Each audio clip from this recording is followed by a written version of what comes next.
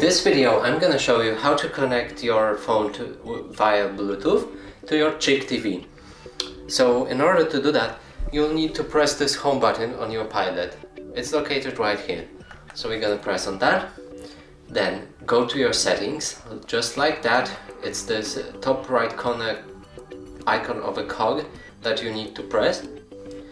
Then go to system, scroll all the way down like that. Go to Bluetooth, make sure Bluetooth is on like that. And from here uh, you, you'll need to move to your phone. So when you'll be looking at your phone, you'll need to go to your Bluetooth.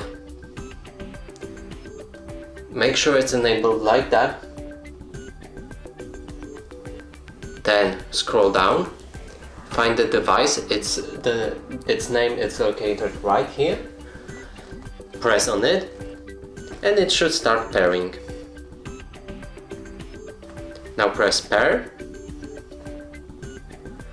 And as you can see, my Note 10 Pro is paired to this device. So that's it for this video, hope you like it, please consider subscribing to our channel, leave a like and a comment below.